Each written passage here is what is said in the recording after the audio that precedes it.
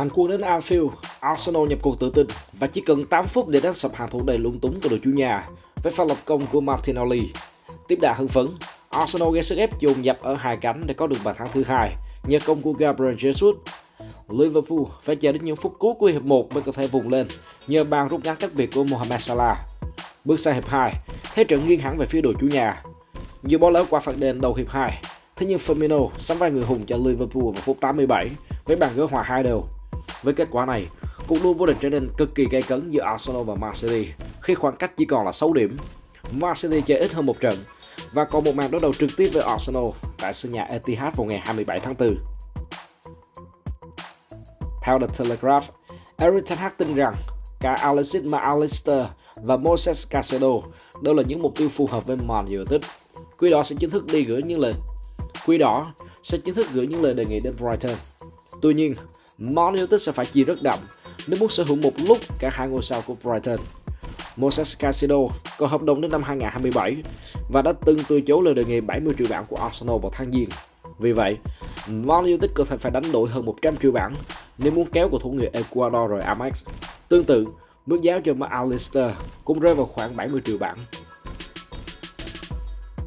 Theo Pep Guardiola, không ai có thể phủ nhận tài năng xuất chúng của Lionel Messi. Xong, Erling Haaland lại là một người rất khác biệt, nếu không muốn nói là có những điểm mạnh hơn Messi. Tôi luôn thấy Haaland vui vẻ và mỉm cười. Khi Messi ghi được hai bàn, cả Messi và chúng tôi sẽ cảm thấy hơi buồn nếu bạn thứ ba không xuất hiện. Nhưng Haaland thì khác, cậu ấy lúc nào cũng có tâm trạng tích cực đến khó tin. Đó là điểm mạnh của Haaland so với Messi. Ngay cả trong những thời điểm tưởng chừng như rất tồi tệ ở đầu mùa này, Haaland vẫn đến tập luyện với một nụ cười luôn nở trên môi, bất chấp những lời xì xao, bàn tán về việc cậu ấy không thể hòa nhập với chúng tôi. Hợp đồng của Sergio Busquets sẽ đáo hạn vào cuối mùa này và đó là lý do tiền vệ người Tây Ban Nha đang nhận được sự quan tâm từ rất nhiều câu lạc bộ của MLS. Tuy nhiên, khả năng Busquets rơi Spotify Camp Nou vào mùa hè là không cao vì cả hai bên vẫn thiện chí gia hạn hợp đồng. Mấu chốt của thương vụ đàm phán này là Xavi. Huấn luyện viên người Tây Ban Nha rất muốn giữ chân Busquets vì trên thực tế tiền vệ này vẫn đang là trụ cột. Hơn nữa Busquets còn là thủ lĩnh tinh thần và truyền đạt kinh nghiệm cho dàn sao trẻ trong đội hình. Trong khi đó, ban lãnh đạo Barcelona muốn đáp ứng mọi yêu cầu của Xavi vì ông đã làm tốt công việc kể từ khi tiếp quản đội bóng thay cho Ronald Koeman. Sau khi báo chí loan tải thông tin về việc Bana bị Valverde tấn công, Bana đã lên tiếng phủ nhận.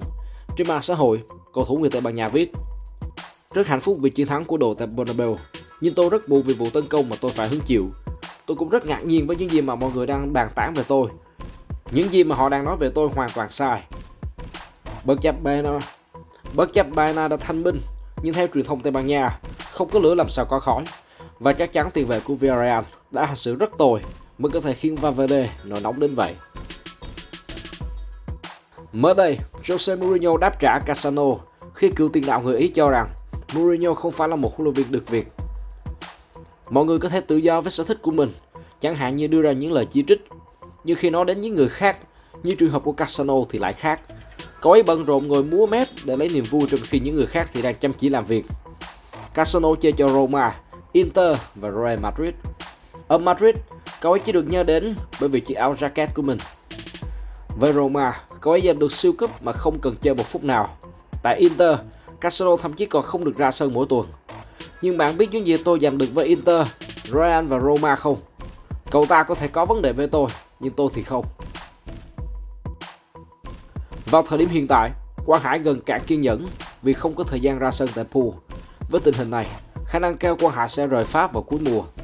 Người đại diện của Quang Hải, Michel Fassini cho biết, ông sẽ có một cuộc họp với ban lãnh đạo của pool vào tuần tới để làm rõ tương lai của tiền vệ người Việt Nam. Tôi không hài lòng với tình hình hiện tại của Quang Hải.